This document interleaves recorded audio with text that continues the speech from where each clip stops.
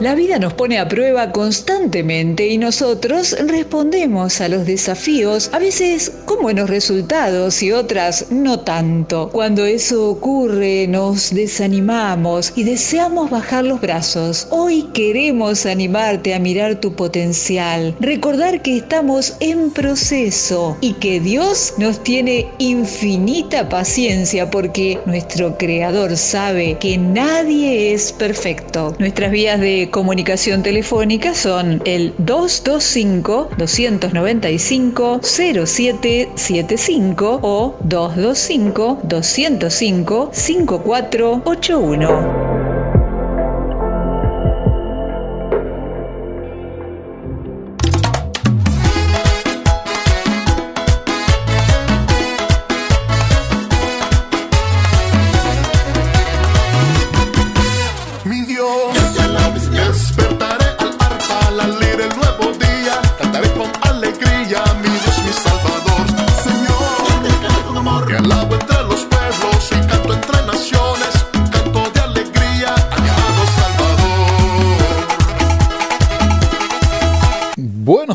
¿Cómo están queridos hermanos? A través de esta radio, Radio Amor, nuestra radio, desde la ciudad de Baton Rouge, para compartir con ustedes una vez más la palabra de Dios. Como todos sabemos, estamos estudiando a lo largo de estos días el libro o la carta del apóstol Pablo a los tesalonicenses, la primera carta del apóstol Pablo a los tesalonicenses. Y estamos llegando a la última lección, a la última clase, a la última, al último texto que está basado en 1 Tesalonicenses capítulo 5. Vamos a tomar algunos conceptos que quiero, del cual quiero partir en esta hora. Y el primero de todos dice capítulo 5, 1, pero acerca de los tiempos y de las ocasiones no tienen necesidad que les escriba, mis hermanos, porque vosotros sabéis perfectamente que el día del Señor vendrá así, como ladrón en la noche. Eh, todas las religiones de alguna manera tratan de ofrecer algún tipo de esperanza. En otros casos, eh, depende mucho de la decisión final del Dios que tengan. ¿sí? Harán todos los esfuerzos posibles para hacer cosas buenas, para poder hacer todo bien y tal vez, tal vez si les va bien, este, Dios eh, los permita entrar al cielo. Pero nosotros como cristianos sabemos que los que tenemos a Cristo en nuestro corazón, el que hemos aceptado a Cristo y que hemos nacido de nuevo, la Biblia dice que somos hijos de Dios. Y eso nos hace a nosotros herederos de, de, de, Él. Entonces, eh, hay cosas que eh, que tienen que ver con la segunda venida, que a nosotros los creyentes no nos debe preocupar. Sí nos debe ocupar, tenemos que preocuparnos o atender el tema o estar listos para cuando el Señor venga, pero hay algunas cosas que este texto nos afirma. Pensando en la palabra clave durante todo este texto es eh, esperanza. ¿Qué es la esperanza? La venida de Cristo nos da esperanza.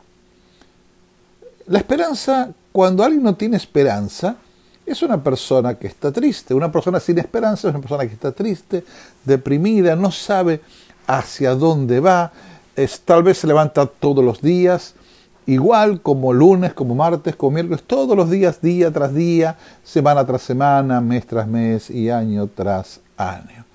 Pero los que tenemos a Cristo, tenemos la esperanza de que Cristo vendrá por segunda vez y vendrá a buscar a su iglesia.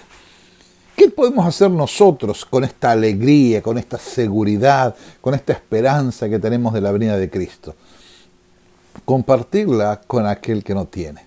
Contarles que en Cristo hay esperanza, que decirles que Jesús es su esperanza. Que así como yo tengo esperanza, quiero que usted tenga esperanza y confíe en el Señor. Otra cosa que el texto nos ayuda a pensar es que la venida de Cristo nos da seguridad. Si se cumplieron las profecías de la primera venida de Cristo, ¿me escucha bien? si todas las profecías se cumplieron, que Cristo vendría, vendría de una virgen, eh, nacería, moriría en la cruz al tercer día, y todo lo que se fue cumpliendo de nuestro Señor Jesucristo fue verdad, entonces es también seguro que lo que prometió que va a pasar, también va a pasar. Y esa esperanza nos da seguridad. Pero también nos da ánimo saber que Cristo vendrá a buscar a usted y a mí, a buscar a su iglesia. Nos da ánimo. Demos gracias a Dios por la esperanza que tenemos en la segunda venida de Cristo, aquel que confiamos, que sabemos que vendrá a buscar a su iglesia. Y también oremos por aquellos que no tienen esperanza, para que encuentren esperanzas que solamente hay en Jesucristo. Bien, lo que quiero compartir hoy está basado en la segunda parte del capítulo 5 de Primera Tesalonicenses, que habla, que dice así, les ruego hermanos que reconozcan a los que trabajan entre ustedes y los dirigen en el Señor y los amonestan, que los tengáis de mucha estima y amor por causa de su obra Tened paz entre vosotros. También os rogamos, hermanos, que amonestéis a los ociosos, que alentéis a los de poco ánimo, que sostengáis a los débiles, que seáis pacientes para con todos. Mirad que ninguno pague a otro mal por mal. Antes seguid siempre lo bueno, uno para con otros y para con todos. Estad siempre gozosos, orad sin cesar, dad gracias a Dios en todo, porque esto es la voluntad de Dios para con vosotros en Cristo Jesús. No apaguéis al Espíritu Santo, no menosprecien las profecías, examinen todo y retengan lo bueno, absteneos de toda especie del mal. Y el mismo Dios de paz os santifique por completo, y todo vuestro ser, espíritu, alma y cuerpo sea guardado irreprensible para la venida de nuestro Señor Jesucristo. Fiel es el que os llama, el cual también lo hará. Cuando estaba preparando para compartir con ustedes, encontré eh, en un autor, varios autores que estudio mientras estoy preparando y estudiando, que él divide estos últimos versículos en cuatro partes. Y es tremendo. Lo primero que quiero afirmar, que Pablo eh, continuamente nos enseña, y algo que repetimos, ¿cómo ustedes se, se comunica con las otras personas en la iglesia. Hermano, ¿cierto? Hermano Juan, hermano Jorge, hermana María, hermano Pastor, hermano.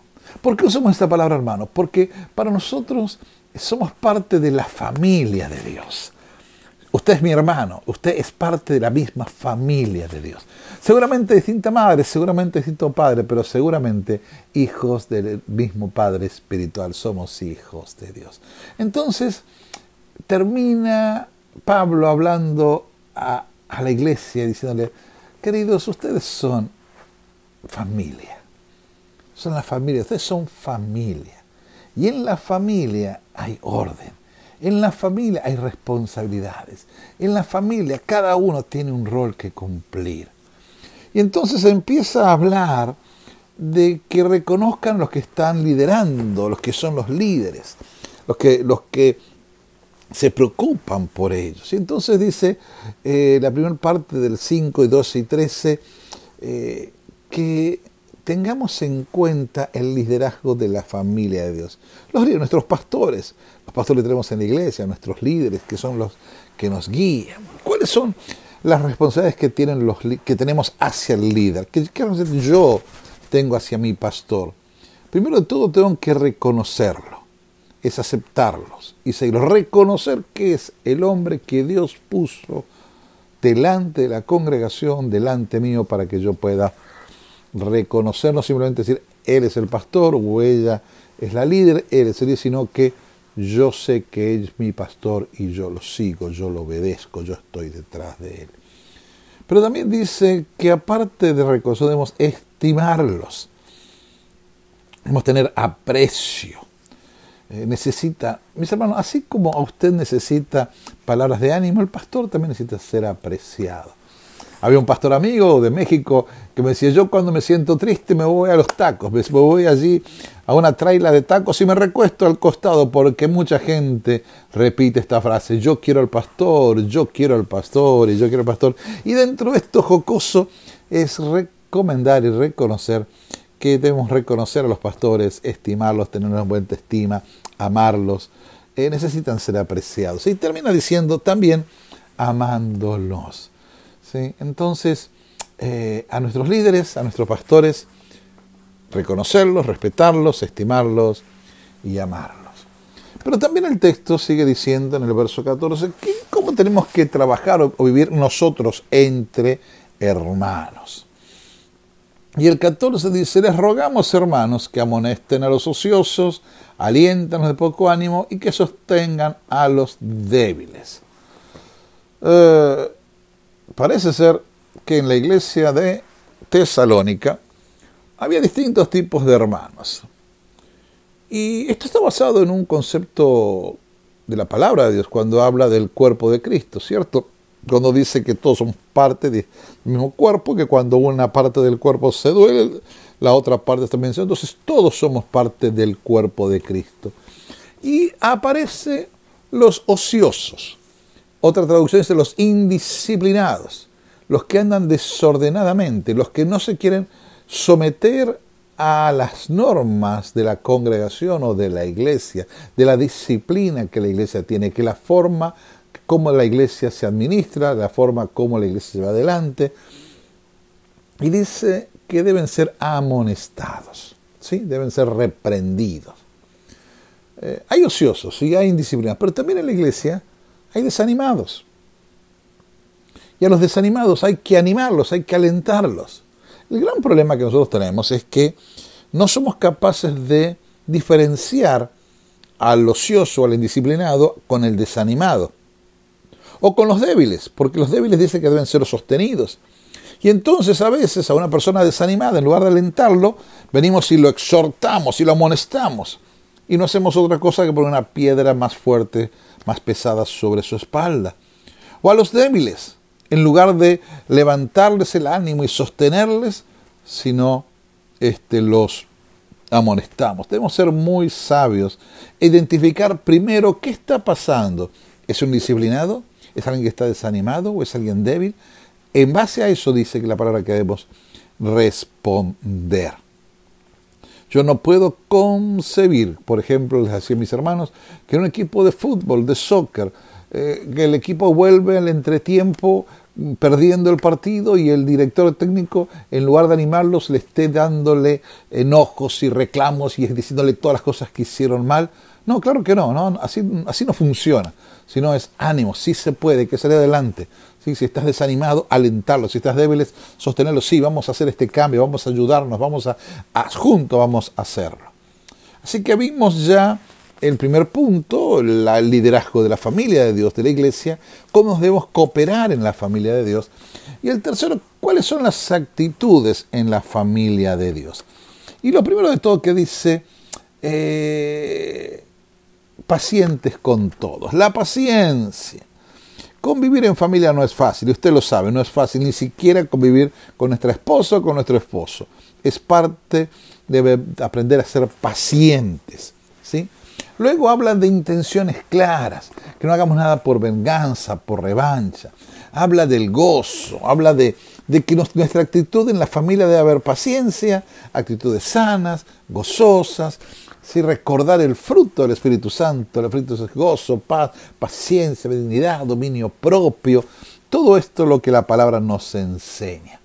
Y por último, desde el 17 en adelante, empieza diciendo, orad sin cesar, da gracias a Dios en todo, porque es la voluntad, no apaguen al Espíritu Santo, no, no menosprecien las profecías. Todo esto que dice nos habla de cómo debemos adorar juntos, juntos en la familia de Dios.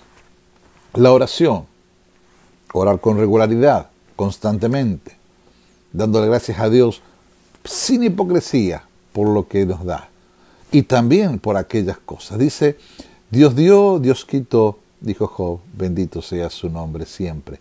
La palabra de Dios, aprender a, comprender, no menospreciar las profecías, no menospreciar su palabra. Muchas veces nosotros vemos la palabra de Dios y aunque la leemos, no la creemos no, la, no confiamos en ella. El apóstol dice, créele, confíale, eh, sujétate a las escrituras que llevemos una vida santa, ¿sí? La, adoración demanda que uno se abstenga del pecado, que uno viva una vida santa, la comunión cristiana, fortalecerse en oración, expresar amor cristiano con otros, saludarnos, amarnos, leer la palabra juntos.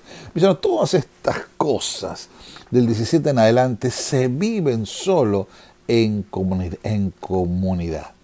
Por eso, mis hermanos, el día de hoy, el resumen es que la familia de Dios debemos respetar a los líderes que, Él ha puesto en la familia, cooperar unos con otros, ayudarnos uno con otro, actitudes sanas, pacientes, actitudes que nos animan y, eh, por último, adorar juntos, orando, alabando, dando gracias, compartiendo su palabra. Mis hermanos, queremos terminar hoy con esta serie de Primera de Tesalonicenses, la carta del apóstol Pablo, Espero que le haya gustado, como hemos disfrutado nosotros durante todos estos meses, y prepararnos para la próxima serie. Mis hermanos, Dios los bendiga y esté con ustedes todos los días. Y les recuerdo, el próximo domingo, ¿sí? 27 de febrero, los esperamos a todos. Aquel que quiera compartir, si usted no tiene una iglesia, venga a Instruman Español a las 10 y 30, que vamos a tener una celebración especial.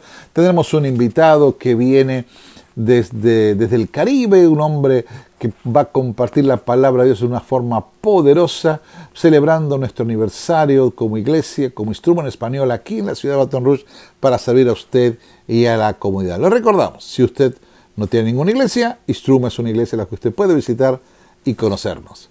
Los animamos, puede compartir, puede venir con nosotros el próximo domingo. Vamos a celebrar un año más que Dios nos permite estar aquí en Baton Rouge celebrando que Cristo tiene poder, que Cristo eh, nos ha redimido, que hemos sido rescatados por Él y que estamos celebrando. Venga a celebrar con nosotros, será una fiesta. Y por supuesto, después del servicio, todos invitados a comer una preciosa y una rica carne asada. Que Dios los bendiga. Mi nombre es Guillermo Mangieri, pastor de en Español, allí en la autopista número 12 y la